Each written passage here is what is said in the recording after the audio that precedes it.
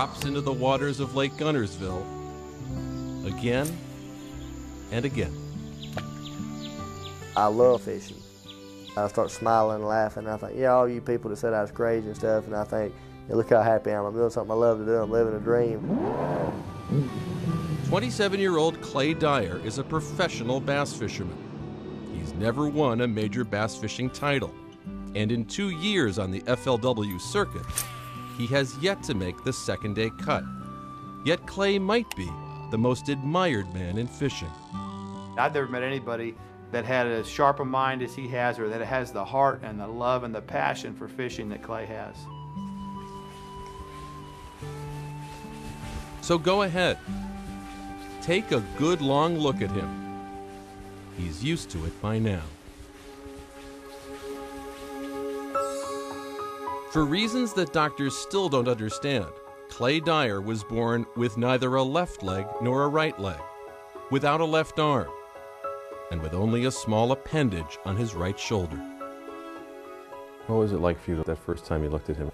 I think they caught me before I hit the floor. Uh, I almost passed out. What was Clay's birth like for you? Uh, disappointing. How so?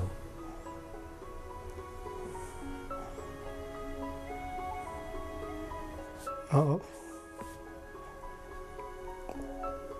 I guess I didn't know what life would be like for you.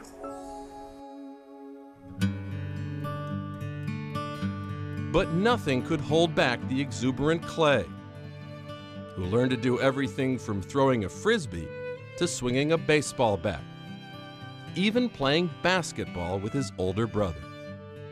From the get-go, he was, I mean, he was his own person. Um, he didn't need any motivation. He always figured out a way to succeed. What would kids ask you when you were young about your condition? Um, same things they ask me now. You know, you know how you know how'd you get like that? You know, how'd you lose your arms and legs? Or they, you know, most of them come up and say, "Hey, you ain't got any arms and legs." And I'm like, "No, really?" He was still just a boy of nine when he spent 20 minutes landing this 26 pound catfish. Fishing became Clay's passion, and he was determined to do it just like any other angler. Why didn't you want to use special equipment? Because I never wanted, I never wanted anybody to treat me special. I've never treated myself special. You know, I've wanted to do everything in life that everybody else does and do it the way they do it. You know, I wanted to do it with one hand the way they do it with two. When he goes fishing, Clay casts by tucking the rod underneath his jaw and whipping the rod around with a quick left to right twist. Then, placing the rod under his chin like a concert violinist, he reels in his catch. Come here, baby. Thank you, Lord. Who's your daddy, baby? He uses his teeth to unhook fish and change lures. And ties knots with his tongue. You've seen people tie a cherry stem with their tongue before. He'll lay the bait on his arm, thread the line through the eye, and ties it with his mouth, and then he'll pull it down tight with his arm. And there you go. But during practice and competition, it gets hot on the lake, and his body's small size makes it impossible for Clay to sweat enough to stay cool. So when he overheats, Clay must take a quick swim. And with a little help, he gets back in the boat. Ah, feels better. After more than a decade as a pro, Clay's still climbing the bass fishing ranks. He fishes at the level just below the top pro tours in the country. I mean, that's just amazing that a kid with it, with um, that many limitations can play at that high of a level. It's a mid-June dawn as Clay prepares himself for day one of this FLW season's final tournament in Lynette, Alabama. The two man boats roar across the fog shrouded lake, and the competition is on. All right, time to go get ugly.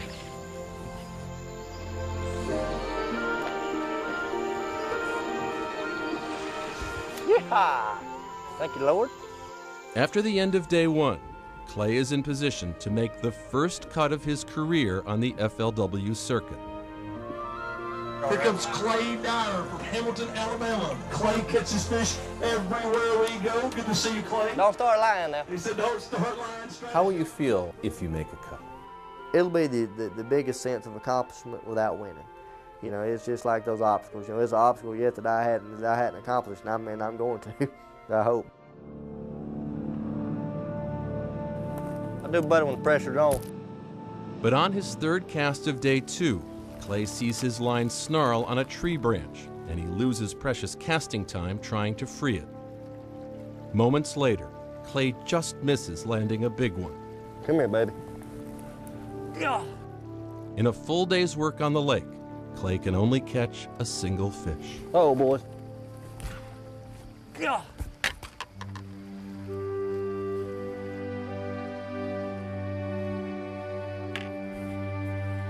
One fish on day two, worth one pound even. Clay Dyer, great job to you, Clay. It's not enough. Ready, bro? Clay has missed the cut. Again.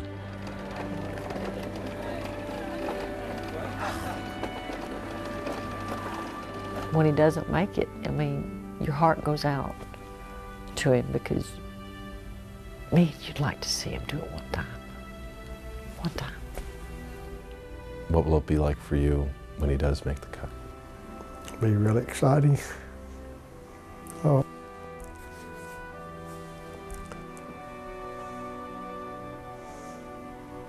be emotional. and it'll happen. But Clay will make the cut one day in one of these pro tournaments, and that'll be, I mean, it'll he'll just bring the house down. And so Clay returns to Lake Guntersville and casts his line.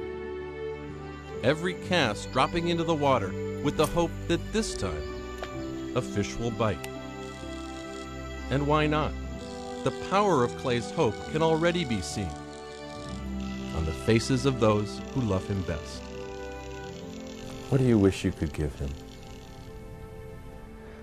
Um, the, the obvious answer would maybe be, you know, maybe, uh, you know, a, a set of arms and legs. He doesn't want that.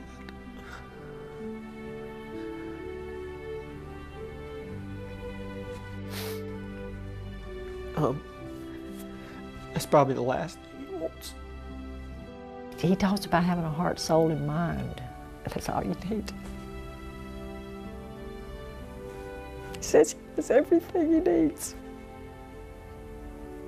If I know somebody's watching me, you know, especially when I'm doing something, you know, using, you know, you know, feeding myself or just doing something, whatever it may be, I try to do it in a way that somebody says, I want what that guy's got.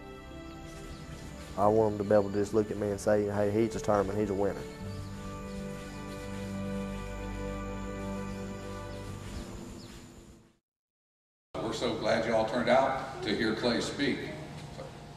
Amen. And I tell you what, uh, without further ado, my new giant of a good friend is coming on stage here, Mr. Clay Dyer. Let's give it a round of applause.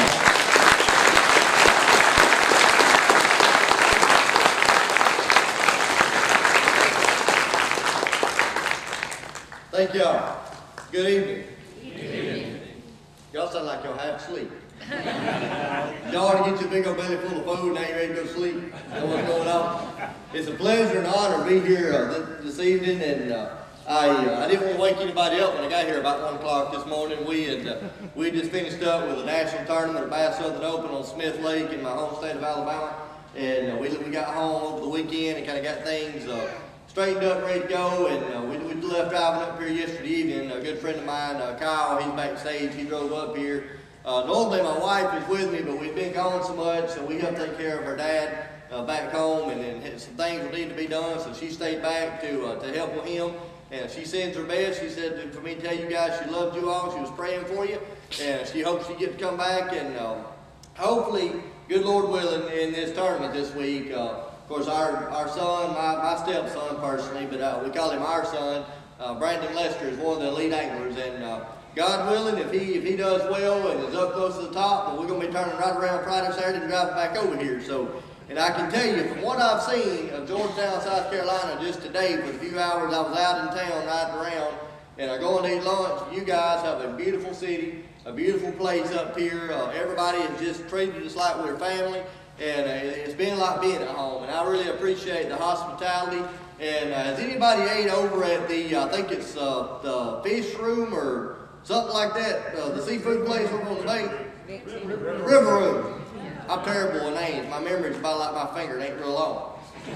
Yeah, the River Room is where we ate lunch, and it was phenomenal. And uh, oh, I cannot say enough uh, thank you to Scott Proctor and the Proctor family, and also to Rick Hemingway and, uh, and Backwoods of Quail Preserve. Um, they provided awesome accommodations last night, and uh, you know, when I went in there, I loved the kind of outback, rustic type look. And uh, when we pulled up at the cabin about 1 o'clock this morning, they had they had the, the, the porch light on like Motel 6. Tom Bodette said he'd leave the light on for us. Rick, Rick Hemingway left the light on for us, brother, and I appreciate that. And uh, it was comfortable, it was wonderful, and nowhere else in the United States have I ever woke up at 8.30 in the morning and the sound of 12 gauges going off. And, uh, and I love it. So I woke up to shooting skeet, and when I first heard it, I woke up, I thought, what in the world? And it dawned on me what it was. I said, I kind of like waking up to that noise. I get used to that a little bit. But uh, I want I want to thank them for their accommodations. They provided us a wonderful place to stay, and uh, it, it, was just awesome. And we, we we hope we get to come back this weekend and I'll be able to get to hang out with you guys. Uh, and ladies, I, I know uh, we were at lunch today, I was taking some pictures on my phone out there on the boardwalk uh, by the river and uh, by the bay, and I was sending those pictures to my wife, and she was like, "Oh, honey, it's beautiful. You know, I wish I was there." And she was like, "It never fails when I don't get to go with you to start with. You always go to these wonderful places." And uh, I was like, "Honey, I know. Maybe you get to come back with me this weekend, and it'll all be good." But how many fishermen do we have out here tonight? Quite a few of you. All right, I got a, I got a very important question I want to ask you before we get started tonight. How many of you out here has ever caught your first fish on a Zebco? Nice, quite a few of you. Well, I caught my very first fish, which was about a nine-pound catfish, sitting in my grandfather's lap, sitting on his farm pond bank. And the fish just about drug me out of his lap and drug me out in the lake. And I it and got it in, but when I did, boy, that just turned the heat up on wanting to fish. And you know, I've always been a competitor. I've always been a country boy from Alabama and a country boy that loves Jesus. And when I grew up fishing, it just really, that, that catching that first fish really cemented that, that fire, that passion in me to want to compete. So that being said, I want to share a quick story with you, and we're going to get into the message tonight. But uh, when I caught that first fish and ignited that fire and really got going, you know, I thought to myself, well, I've catfished for a while, and I thought, you know, catfish are nice, they're awesome, and all that. Man, they just don't do what bass do. You know, they, you know, man, I can make a living fishing for bass. I can fish for a lot of money fishing for bass. So I want to go fish for bass. So with that being said, I thought that when you had to fish for bass, that you know you had to have the top of the line equipment, right? I thought that is any golfers in here. I know there's a few golfers. I don't see men. I know there's a few golfers. One brother over there got a hand there. Playing all. Right here. We're playing all, buddy. Is your wife or girlfriend or something right there gonna get on TV and say you love golf? Amen, brother. Well, let me ask you something. In golf, did you ever think the more you paid for that club, the farther the straighter you're gonna hit the little white ball? I learned a long time ago. It ain't the name of the club, it's how you want to play it. That's right. It's how you swing your club, ain't Yeah, that's right. My, my dad and my brother, my brother used to play golf professionally on the Teardrop Tour, which is right on the Nike Tour. Well, they used to implement that thought that the more they paid for a club, meant the farther and son they'd hit the ball. Well, I always used to kid them that I never understood why they wanted to work so hard to get that little white golf ball in that little cup just to take it out and go to the next hole. And my brother looked at me and he said, well, he said, you moron, it's kind of like your philosophy. I don't know why you work so hard to catch fish, just turn it back loose again. And I told him, I said, well, I don't eat them. Well, I said, I don't eat bass, I eat catfish and crappie.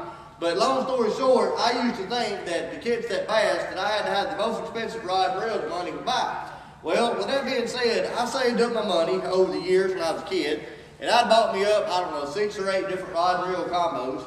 and you know was getting in getting in my young teenage years and all that. And uh, you know you're from the country when instead of when you get to be 16, instead of asking for a sports car or a four-wheel drive truck, you ask for a bass boat. Well, I wasn't asking for the bass boat yet, but Daddy had already bought me a boat, so I have these rods and reels saved up and balled up, and I never will forget.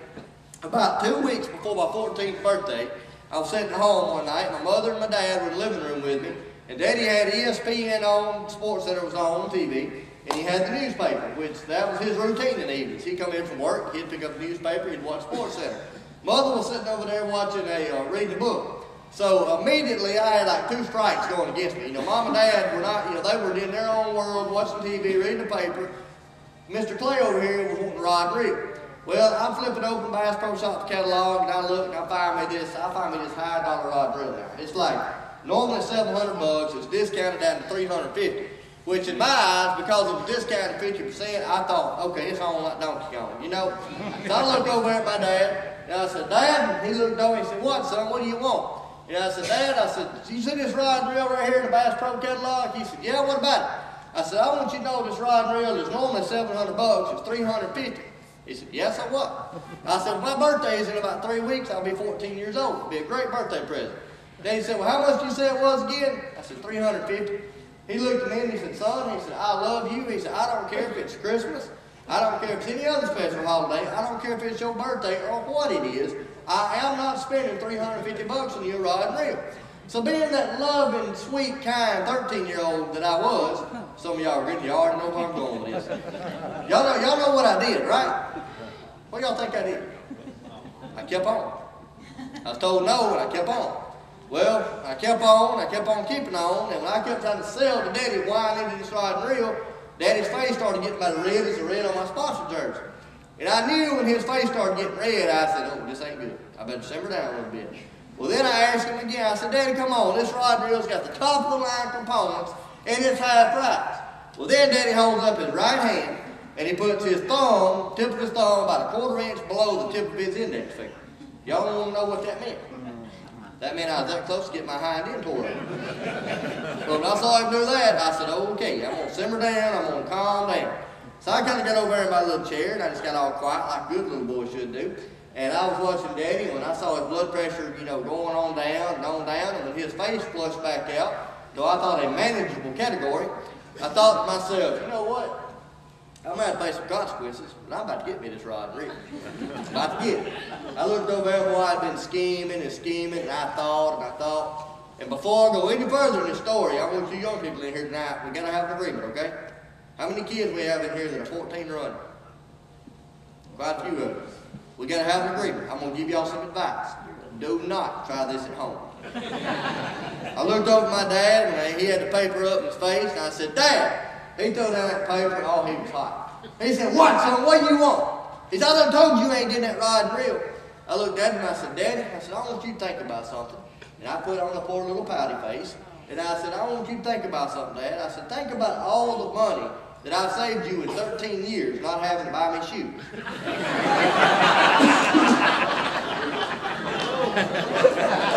yeah, I went there. I said, I did. Guilty as accused. I said it. Well, Daddy looked over at my mother, and my mother kind of shrugged her shoulders at him, and she said, what are you going to say to that? Next thing I knew, he pulled out his wallet and handed me a credit card, and he said, here, son, order that rod and I don't want to hear another word out of you all night. So, not only did it work, I didn't even get a high end whipping, and life is grand. Like I said, young boys and girls, do not try that at home. Ladies and gentlemen, it's my honor and my privilege to be here tonight to be able to share with you. And as I prayed about what I was going to say tonight on the way over here, you know, this day and time, of everywhere I could go with this message, of everything I could say, this day and time, I feel like the message I have tonight is the message that everybody in this room can resonate with. And it is my hope and my prayer tonight that before you leave this place, that you will leave this place encouraged, inspired, and you leave this place a better person than what you were when you came in. That's my hope and that's my prayer. You know, we all can we all can understand that in life sometimes there's adversity, sometimes there's obstacles. I have people everywhere I go. I've been blessed to do this since 1997. So I'm going on 20 years that I've done this, that I've been a professional angler slash motivational speaker. My friend, I have done everything in this world that a lot of people never get a chance, probably honestly, to do in this world. Uh, Lord, I have played sports. I played. I played baseball, football, basketball. Uh, you know, I have hunted. I have been all over the country. I've been to Canada three times. I've been to Mexico three times. I mean, I've traveled a lot of places. And I've been blessed to be on the cover of magazines. I've been blessed to be on the cover of Bassmaster. Um, I've been on ESPN. I've been on CNN Headline News. I mean, I've been been out there and been a lot of places and had the honor of being on a lot of covers and, and things of that nature. But I want you to know that right now, that that that, that fame, that prestige, that that uh, you know things of that nature are not what drives Clay Dyer. Those are honors, and I'm privileged that I had the opportunity to be on those those things. But that's not what got what has gotten Clay Dyer to where he is at. You see, I always tell people I get to live my dream. I get I get whenever I go all across the country, whether I'm in my truck and boat and we're in a tournament, or whether we pull up and we're getting ready to do an appearance like tonight or whatever. I have so many people say, "Man, how in the world do you do what you do? You know, how in the world is a man that is born the way you were born this? How in the world do you do what you do and not have any special adaptation, not have any special equipment?" And I tell them, I say, "Well, number one is I told you I get to live my dream."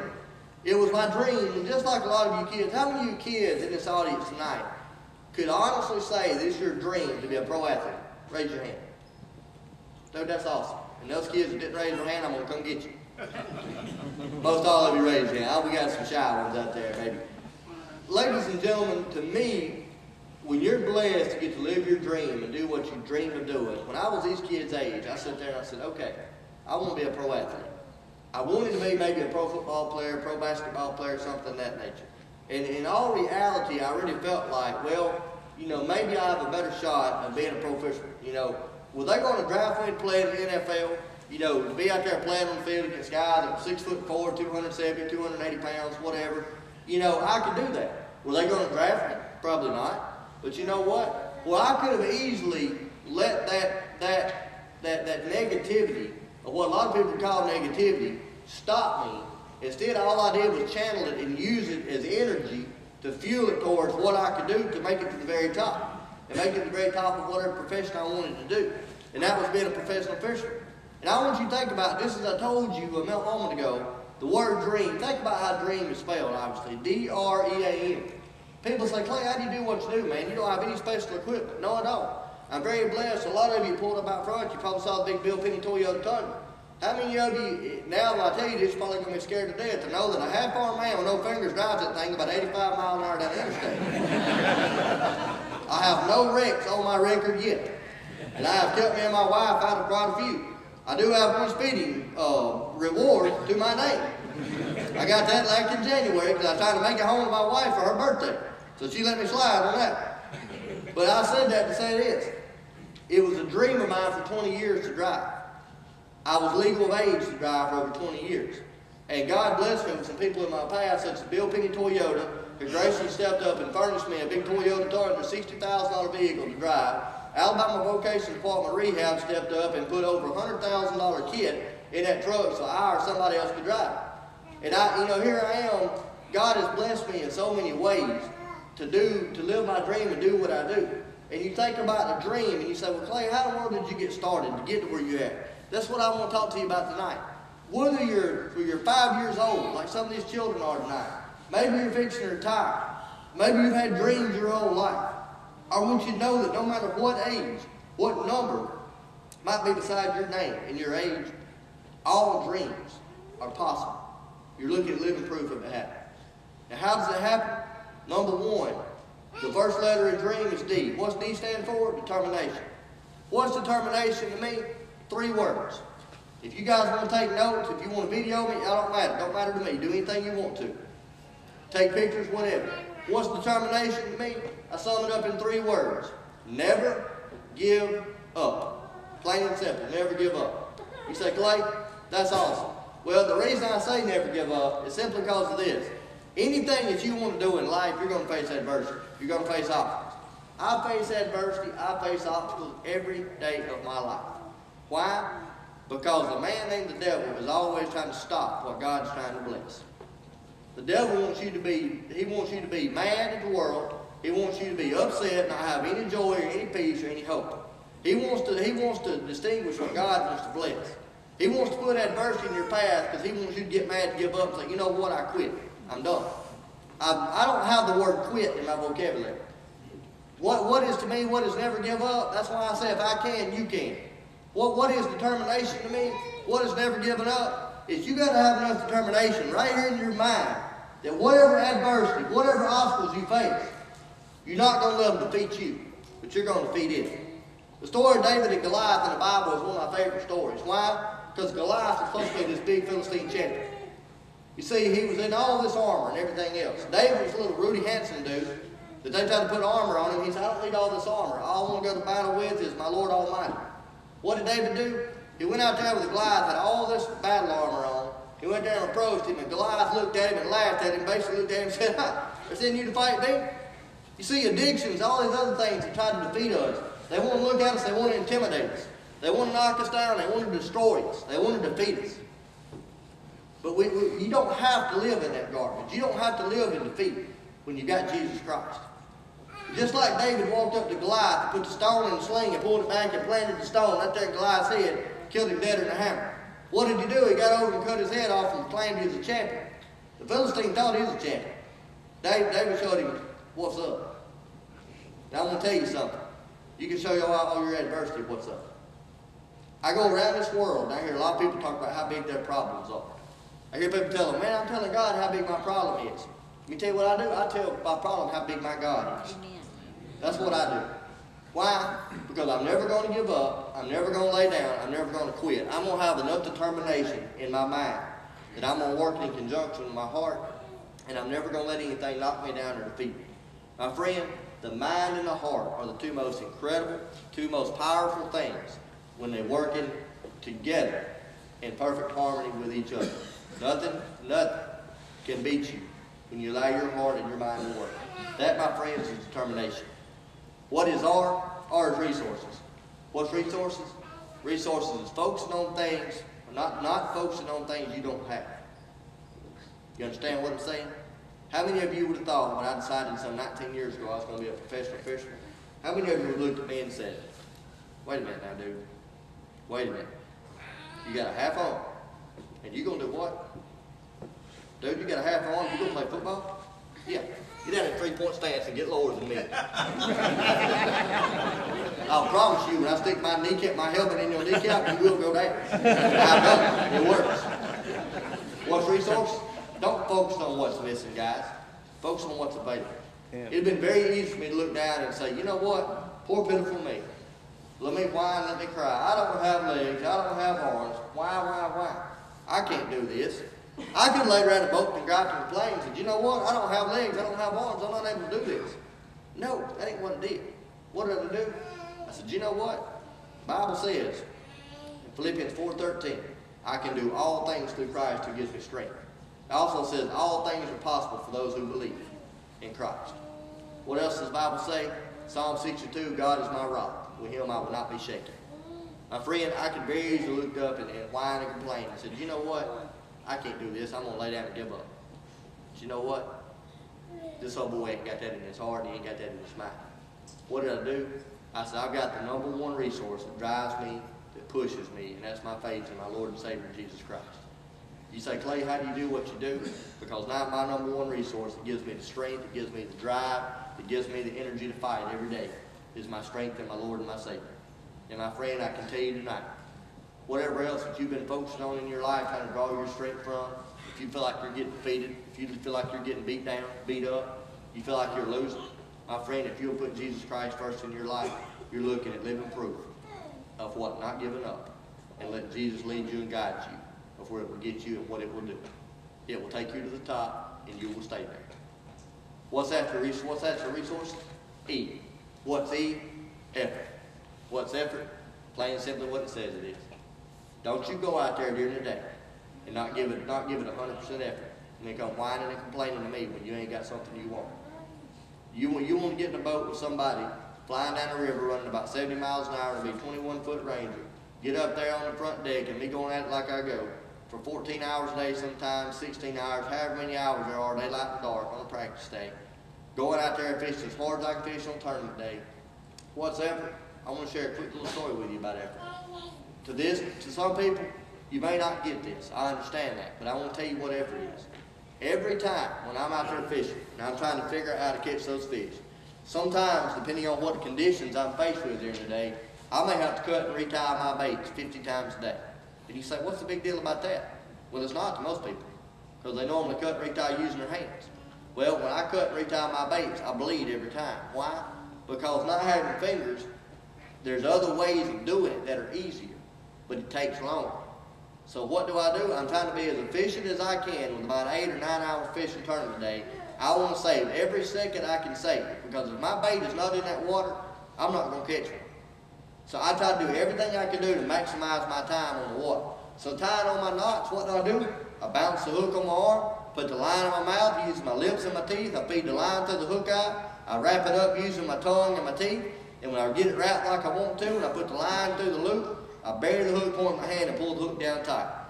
You probably can't see it from back there. My, my hand right now looks terrible because I just got out of a tournament.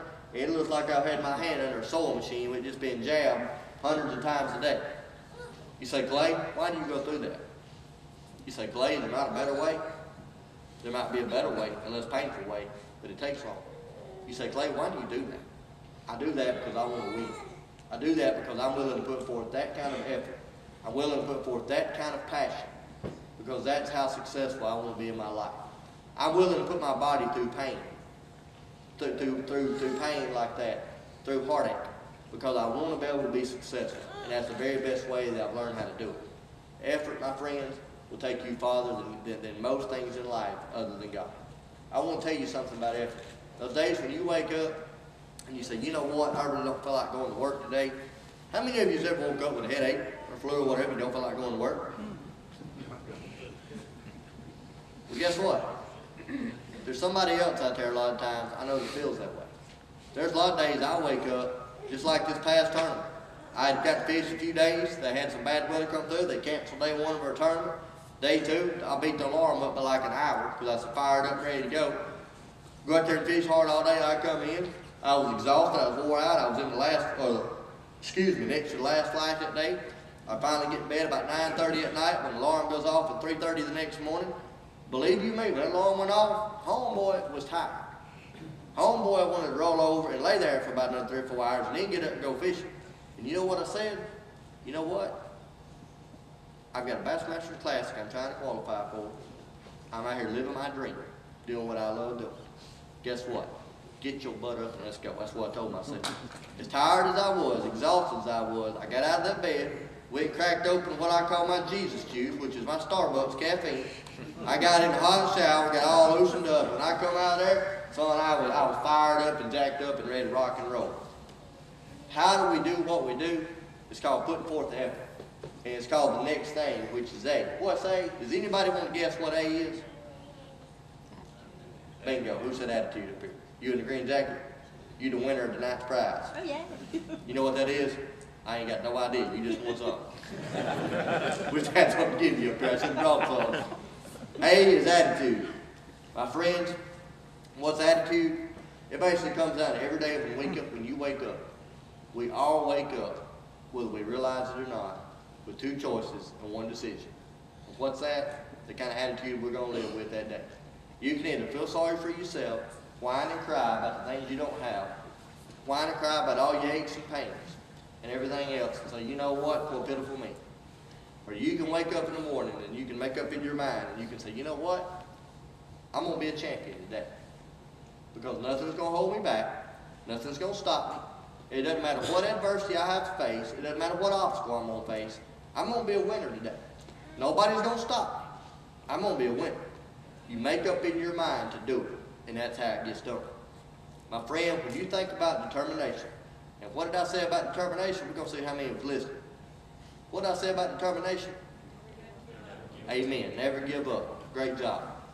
When you focus on determination, and you focus on never giving up, you take what resources you were blessed with, and don't focus on what you don't have. You focus on 100%, 100% effort each and every day, and you keep a champion mental attitude, then the last thing on the list, other than success, is M. And what's M? M is motivation. Why do I say motivation?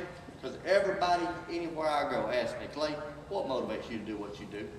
What motivates you to get up and go out there at 3 o'clock in the morning when you're wore out tired and you ain't caught a fish the day before? What motivates you to do that? What motivates you to drive and you go to so many cities a year in your truck? You're so wore out when you get there you'll forget where you're at sometimes. What motivates you to do what you do? I'll tell you what motivates me. People say, does the money of winning a tournament motivate you? It helps. Honestly. I mean, if it didn't, you know, that's a big part of what we do. I mean, there's a lot of money out there to be made fishing, but there's a lot of money to be lost too. But a lot of people say, is that what motivates you? No. That's not what truly motivates me to do everything I do. I want to beat the best. I don't want to show up to the tournament. And just like these elites for the Bassmaster Open, if I showed up, I don't want anybody to come to me and look at me and say, Clay, because you're the only fisherman out here that's physically like you are, that says you're quote unquote disabled or you're in a wheelchair or you're handicapped. My friend, let me tell you something. The word disabled and the word handicapped are just that, they're words. You're only as handicapped and disabled as what you allow yourself to be. And I want to tell you, if somebody wanted to walk up to me and look at me and hand me that trophy and say, here, because you're in a wheelchair, because you look handicapped, because you look disabled, I want to give you that trophy. You know what I'll tell them? Keep it. No, sir. You ain't to give it to me like that. If I don't go out here in fair and square and be Kevin Van Dam or any of these other guys that are on the elites or the opens, I don't want that trophy. I want to it. I want to know that I went out there and lined up toe to toe with all of my brothers on this tour. And believe you me, we're all very close to each other. In between, whatever time we blast off and time we weigh in, we're trying to beat each other's eyes out. At the end of the day, we're all hugging necks and we all love each other. We're family and we're brothers. And we're there to pick each other up. What motivates me? I'll tell you what motivates me. What motivates me to drive all over this country, thousands and thousands of miles a year, fly, fly however many miles I fly a year. What motivates me to get up when I'm give out tired and just want to sleep or anything else. What motivates me when people just like you and you and you. When y'all send me emails, when y'all send me Facebook messages, if you've got my phone number and you send me a text or a call, I tell you what motivates me. When I get the calls that says, Clay, I want you to know I was facing alcohol addiction, a drug addiction, and I was about to commit suicide. And I want you to know that because of what you stand for and what you believe in and what you, the way you live your life, I want you to know I turned my life around and I want to be a champion. My friends, that's what motivates Clay Dyer. That's what makes my heart tick, and that's what makes me do what I do, and that's what makes me love.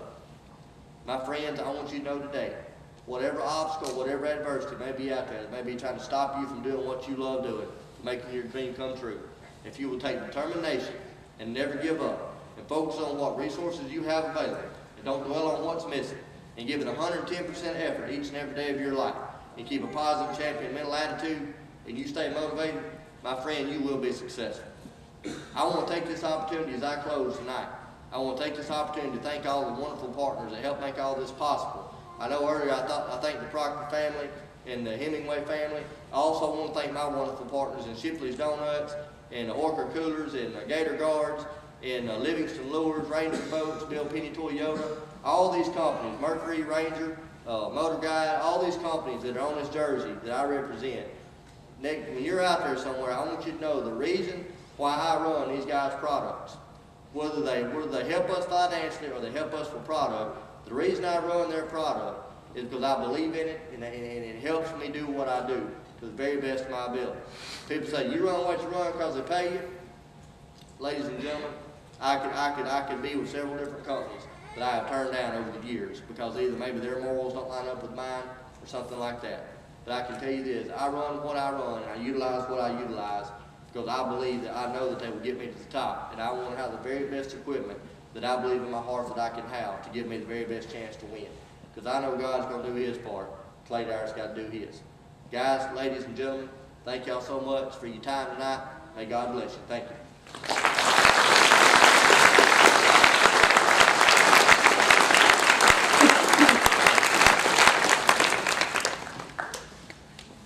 Hey guys, we're gonna do a few minutes of Q and A with Clay. What's your personal best fish?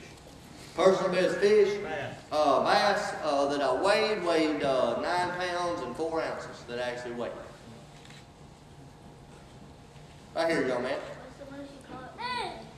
Most I caught one day, dude, I have no idea. More than I count on my one hand, I can tell you that. I wish I honestly knew the number, but I, I've had days I've caught over a hundred in a day, but I, I don't know the exact number, but it's been a bunch of them. Clay, the first time you heard your father say that he was disappointed uh, during your birth, um, how did that resonate with you in your soul and give you more uh, driven spirit to do what you do? Well, what was the very first part of what you asked, buddy? I'm sorry. The very first time that you heard your father said that he was disappointed because of your birth, how did it actually uh, make you drive, your drive even back that much better? Well, first off, I think I've talked to my dad about this many times, and the reason my dad was disappointed, it was because he felt like I might not have the same opportunities to do the same things other kids, you know, could do. Because I've got one older brother that's 30, that's uh, 41, and um, he, you know, he is he is just looks like a normal, you know, all his hands, fingers, ex, uh, extremities, and all that. But I think honestly, being born the way I've been born has, has just naturally given me that much more drive because it, it, it makes me appreciate what I have in life. And you know, dude, we're all human. And um, I have fallen short, and only because of the grace of God I'm where I'm at today. And you know, with me, I, people say, man, you know, I'll go somewhere, but like, dude, you're a superstar. You're, I'm, no, no, I ain't Jesus a superstar. You know, I, I'm not. I, I'm Clay Dyer. I, I'm, I'm a I'm a sinner saved by grace, brother. That's what I am. And I, I, people say, well, I had a guy joke one time, said, well, man, how you put your legs on one leg at a time? I said, one hip at a time. But uh, about half of y'all got that real quick, didn't you? but uh, I think it really made me just appreciate what I what I've been blessed with more, and it's and it's maybe not take things for granted, you know, like I probably would have had I been born with hands and fingers and stuff. Dude, if I had hands and fingers, I'd be like, how do you use these things? What do you do? You know? Great question. How, how long does it take you to catch a regular like fish, like just a bass, like inches? How long does it take me to catch one? well, if he bites me from about me to you with my big old 7-Eleven loose lifting stick and 25 pound line, it don't take me long. I normally, I normally set the hook, put him in the boat on a hook set. Good question, buddy. Anybody else? Right here in the middle. Right here, buddy. I can probably hear you. Um, Over here. What's your favorite lure you fish with? Favorite lure I fish with? Anything that catches a fish. nah, I'm kidding, buddy. Um, my favorite lure, if I had to, if I had to trim it down to one, um, boy, that's tough because I've, I've, Lord knows, if you saw my boat in my shop, it looks like Bass Pro Shops. Um, I try to be a versatile fisherman and do whatever it takes to catch them under whatever condition. But if I had to pick one lure that I could catch them on, it'd be something like a uh, what's called a Livingston walking boss, which is a lot like a Zara spook. It's a walking bait. It's a topwater bait, and I love on top water. I love watching them blow up on it, explode on it, and uh, I'm telling you, it's awesome, man. I love top water. Great question, bud. Back here in the back. Yes. How do I cast?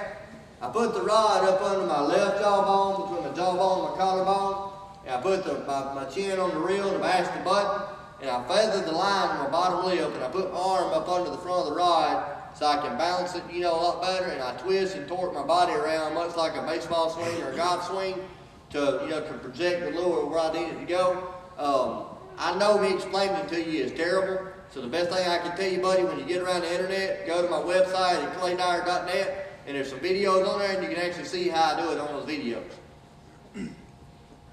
Right here, young man. How you use the bathroom? How you like any other boy, son, like any other boy.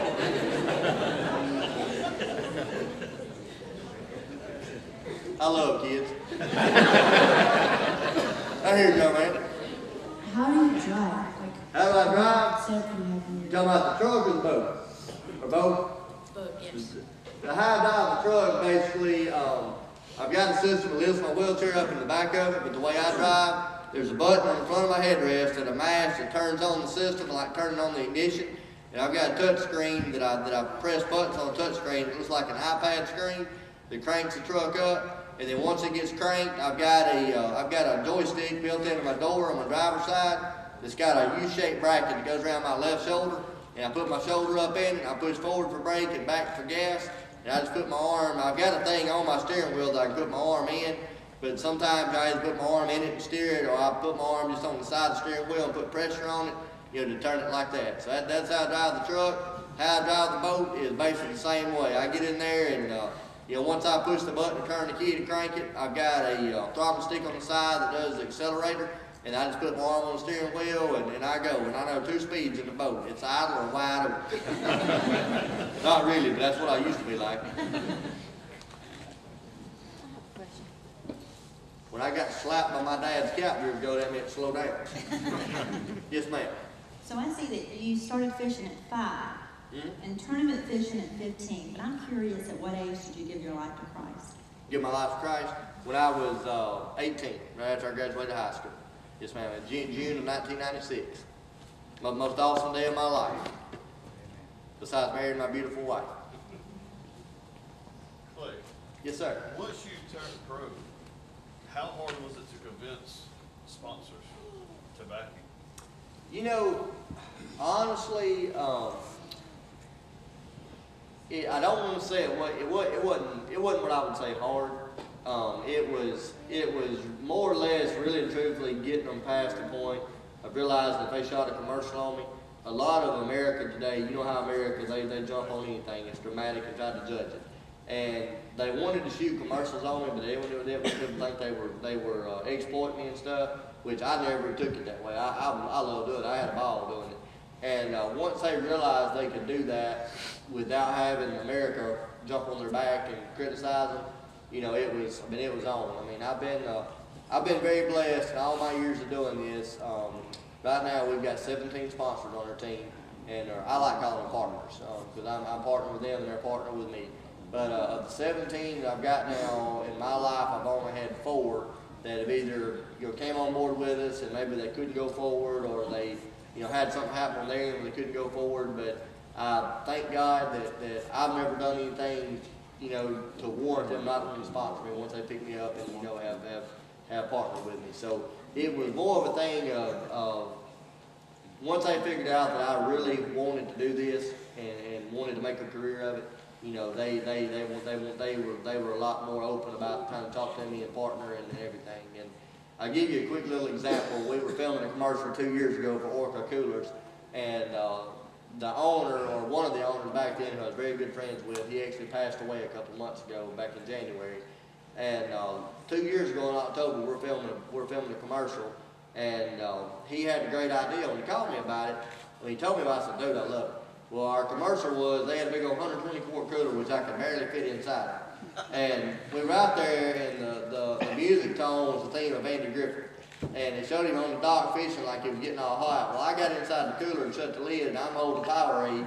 And just sitting there holding it, looking up. I have a jersey on. I'm looking up, grinning, holding it between my nose, between my chin and my arm. And he shows me come up to the two cooler, and he opens up, and he says, "Oh, thanks, lady." Grabs the Powerade and slams the lid back on. and we had a ball filming, and like people, you know, we had a couple people like, "I cannot believe you did that to that guy." And, uh, but a lot of people, it, it like went viral, and we loved it. and We had a ball with it. That's a great question. Yes, sir. needless to say, you are a, uh, an inspiration to, to all of us, and uh, certainly appreciate your being here. But having said that, have you had this attitude all your life, or did you wake up one morning and say, "I'm not going to do it anymore. I'm going to change"? No, honestly, I've kind of had this attitude my whole life. My brother, you probably caught it in the video. My brother made a statement on video. He said, you know, that I didn't need any motivation. And, uh, you know, I don't want to sound arrogant by saying this, but, you know, to me, I don't have to be motivated because I'm self-motivated, and I just I push myself so hard to be the very best I can be.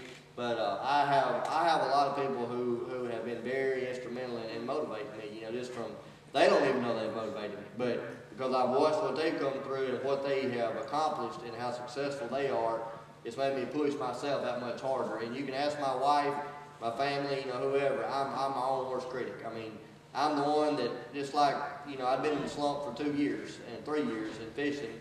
And uh, this past week, I was blessed to bring in two back-to-back limits, which is not most in most people's eyes. But sometimes when you're trying to get back to a level, when you're when you're not performing where you know you're capable of, or where you once were, you know, sometimes it doesn't come overnight. Sometimes you got to crawl before you can walk. You got to walk before you can run. And it's like I said during that tournament. Sometimes you got to get the train back on the tracks before you can, you know, really build up momentum. And uh, during that tournament, when I came in, you know, my wife was just ecstatic. And I mean, did I get a check? No, I missed a check 50 spots. Um, but I didn't finish at the bottom of the pack. And she kept telling me, honey, I'm so proud of you. You know, you know. And she get, she finally looked at me the other night and she said, she said, you know, honey, you know, you grinned and you, you've been it. She said, you act like you're mad at yourself. And I said, well, I'm not mad at myself. I said, I grew up on that lake. I know that lake like the back of my hand. Mm-hmm. And I said, I'm frustrated because I know what I'm capable of doing, and I didn't do nowhere close to that. Now, granted, I did catch two limits, and I wasn't at the bottom. You know, I beat several people in the tournament, but at the same time, I expect to win because I, I, I feel like I'm good enough to do that, even against these best guys. And when I don't do, when I don't perform at my own expectations, I'm pushing myself that much harder to get there. You know, that's just, I think every great athlete I've ever read or heard speak or had the pleasure of meeting and getting to know um, I've been very blessed to know. I mean, for instance, most people know as Kevin Van Dam is the man in fishing, or was the man in fishing, and still is by many respects. Um, not trying to sound boastful, but I got Kevin's cell phone number. I mean, me and Kevin talk, you know, quite often. And me and Kevin see each other out, we hug each other's neck, and Gerald Swindle's another one. It's been, you know, Gerald has been very successful. He's never won but one national tournament, but he's won, you know, millions of dollars. And I talk to these guys, and I see how they do what they do. The same factor I see in every one of them that are champions is they push themselves so hard because they, they, they will not settle for mediocrity. You know, they, they will not settle and be content with being good enough. You know, it's like, if I'm not the best, I'm, forget it. You know, I, I'm, I'm going to keep pushing. Yes, sir. Just curious, with, with everything that you do, I mean, you live and breathe fishing, family, I mean, everything that you do, do you have any hobbies? Do you do something outside of fishing? Is there time in your life for that, or are you, is, because it's, it's your job, yes, and it's your passion, but a lot of folks, you know, they have that, but they have other things. Just curious, is there something else that you do that you consider fun, or are you? Oh yeah, um, you know, the funny, truthful answer to that would be fish. I mean, I, no matter if I'm competing or not, I just love it, you know. But uh, honestly, I mean, other than that, obviously, my number one hobbies is uh, my wife and I love mentoring kids. Um, you know, trying to show them uh, how to live a life through Christ, to, to make them the best they can be. And uh, we, we help a lot with the, our, our daughter and son-in-law are the youth ministers at our local home church. And uh, me and my wife are very involved when we are home, you know, in, in helping them. So it's, you know, it's all based around being, you know, being as godly of a man is, is what I ever hope I can be. And uh, I honestly, like you say, people say, what are you to do when you retire? I said, what am I going to do, retire and fish?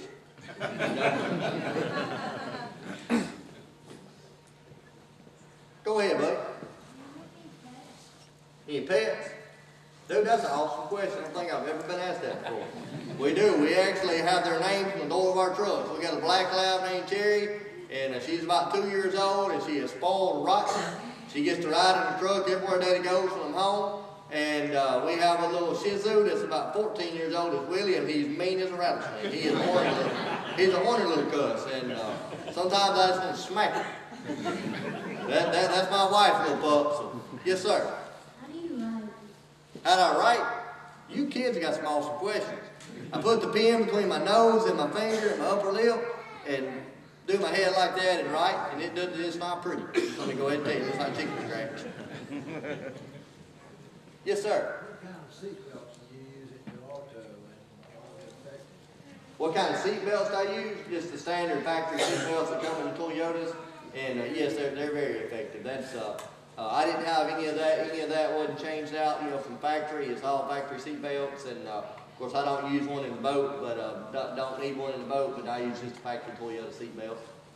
I, I had a, a friend one time who had no legs, and actually he had, uh, only part of his pelvis. Yes, sir. And, uh, he had, he was using seatbelts, he had a paper route, and he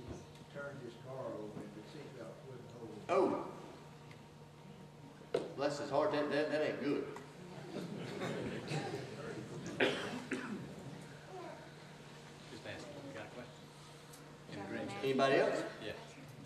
Uh, do you like to fish in ponds for brim? I do. I love fishing in ponds. When I, when I have time to do it, I don't have much time, but I love it.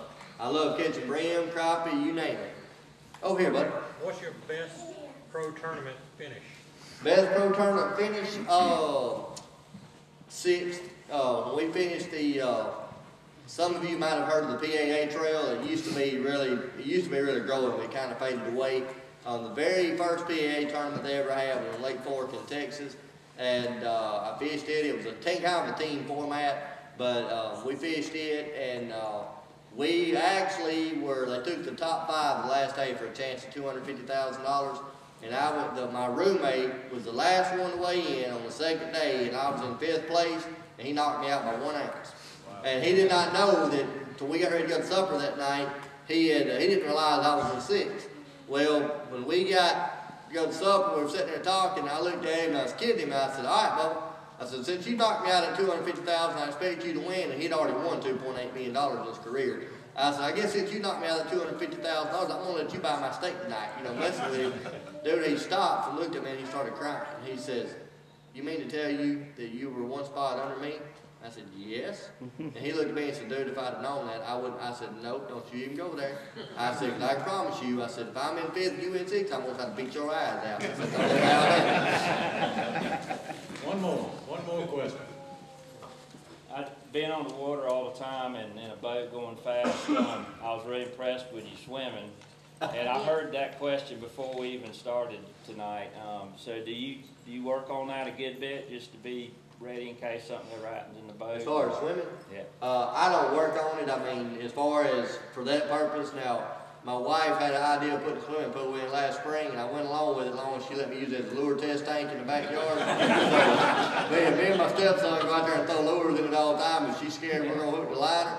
But uh, I do love swimming for, um, you know, for exercise and, and, stay, and help stay in good shape. But as far as for, for that purpose, you know, it, I, I don't, I don't worry about that. I mean, I, I wear great uh, Mustang life preservers that, you know, that, that I inflate and also I'm gonna start carrying, you know, the old style with me just in case as well. But, uh, no, I don't worry about it for that, that purpose. I just love to swim. Great, great question, buddy.